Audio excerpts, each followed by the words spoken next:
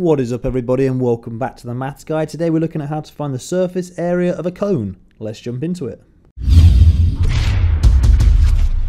Okay, so when we're finding the surface area of a cone, we can use the formula area of the base plus the lateral area. So this capital B stands for the area of the base, which would be this circular shape at the bottom, and then we add it to the area of this lateral area, which is this cone shape. And of course, when we're finding the surface area, essentially what we're doing is we are trying to work out the area of the skin, if you like, around this shape. Sometimes it's easier to see that skin when we lay out our shape into its 2D net. So you can see here we have that cone shape unfolded and then we have the circular base. But then when we're working on the surface area of a cone specifically, we can break this formula down into two parts. This first part here pi r squared. Well, that's going to give us the surface area of this circle. And then this second part, pi times radius times the lateral length, which is 7 centimeters here. That's going to give us the area of this cone-shaped segment. I apologize about this wiggly line in this part of the formula. That's not meant to be there. Okay, so let's put this into practice then with this example.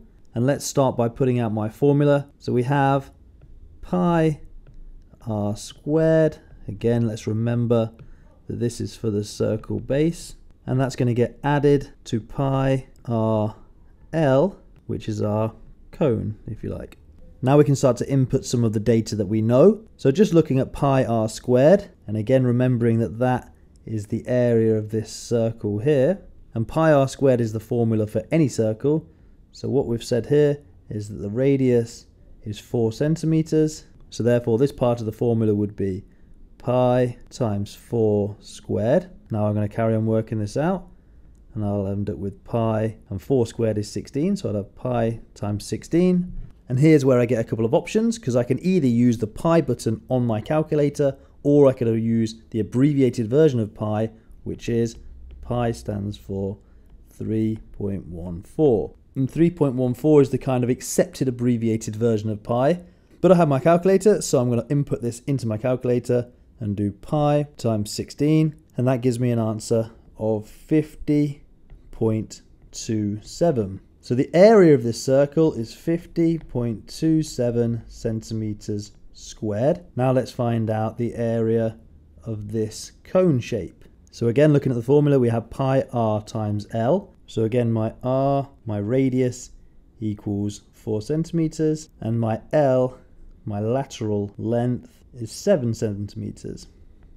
So now I can just input that into my formula again. So I'd have plus pi times 4 times L. And remember, when I put my pi next to my 4 without a multiplication symbol, we automatically use multiplication. So I've not forgotten it there. It's just a quicker way of writing it. So now again, I can just input that into my calculator and say pi times 4 times 7. And I get an answer of 87 0.96. And remember, just a quick note, when we're multiplying, if all of our processes are multiplication, it doesn't matter which way around we put those numbers, we're going to get the same answer.